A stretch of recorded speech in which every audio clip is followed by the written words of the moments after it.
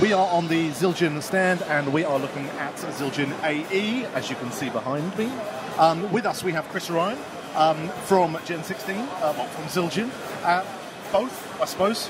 Both, yes. And he is going to talk us through the new direct contact pickup on the AE cymbal. So, hi, Chris. What have you got to show us? Well, the big story for this year is the new direct source pickup. Uh, some people may be familiar with the AE cymbal system we introduced at NAMM 2011, uh, which used a microphone to capture the sound. Um, there's been a demand for using these on a live stage. They want to get them in rock volume, you know, uh, large clubs, large arenas, that whole thing. And the microphone wasn't necessarily suited for that. You know, an open microphone picks up so many things, and there could be a, a danger of feedback. So we listened, and we created what we call the direct source pickup. The pickup itself is attached directly to the cymbal. And now we can harness all of the frequencies that that cymbal has to offer by, and also eliminating feedback, crosstalk, or any bleed from any other instruments. Okay, so uh, people who've got the existing AE cymbals, they can just retrofit these, presumably. They can they can retrofit, upgrade. It works with the uh, same DCP that was uh, also available in 2011. Okay, is there a software upgrade needed as well? Th there is, and I also want to make people aware of uh, a tool called the uh, DCP Access Tool. Uh, it's a software piece that allows the user to not only upgrade their firmware and upgrade presets, but they can customize the presets themselves. Okay, now, just I think we ought to explain, uh, just for certain members of the public, uh, these are not triggers, are they? They are what we are hearing when you will play it in a few minutes is the actual vibration of the cymbals. We are not hearing any samples, no triggering. Absolutely, no samples whatsoever. My my best parallel is an electric guitar. Yep. Electric guitar has a low volume string. You amplify that. Uh, they run it through their favorite stomp boxes and they shape the sound. Hence the reason we call them tone shapes. All of our presets are called tone shapes. Fantastic. I think we ought to go and have a listen then. Yes. So I'd like to put the cymbals in a bit of a musical context here and show you what's, uh, what's possible with some of the tone shapes. I'll start off by showing you some of the uh, different hi-hat patches here. And I'm changing presets here on the DCP. And you can hear how the tonal characteristics change. A little lighter hi-hat there. Now I want to go something to a little heavier.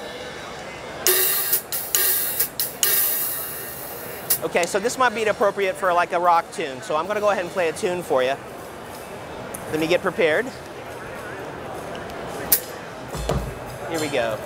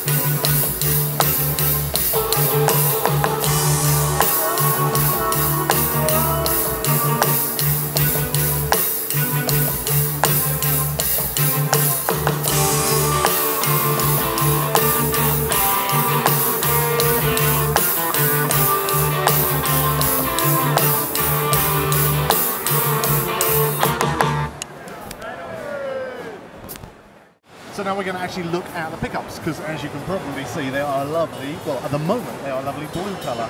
But as Chris is about to explain, that's not fixed. So, Right. the pickups. So yes, um, well, this is the preamp, also part of the pickup, uh, which has uh, some really nice lighting effects built in. You know, you got to have bling for the drummer. Uh, we've added a half a dozen animations, so you'll see how the lights fade in and out. I can change to something a little more like, uh, I guess, a Cylon effect, if for those sci-fi fans. I can also change the color as well. So about 11 different color presets. Match your drum kit if you like. And I don't know if you noticed before, but uh, when we were playing, or when you were listening to the tune, the, the preamp actually flashed When you hit it. when Yeah. you hit it, yes. So, Very cool. And uh, we were just mentioning about the, uh, the damping pins as well. yes, uh, the damping pins actually um, are, are huge in actually customizing the sound. Yeah. I mean, of course, there's 4,000 holes in each cymbal, and it, it could have a, a variation in sound anywhere you put it. This just happens to be where I prefer to dry the cymbal out, just to give it a little bit more stick definition. Okay, and so presumably the further you put it up the cymbal, the less it influence the low end or whatever else you need. So Exactly. You can fine tune the cymbals to be your sound. You bet. Fantastic.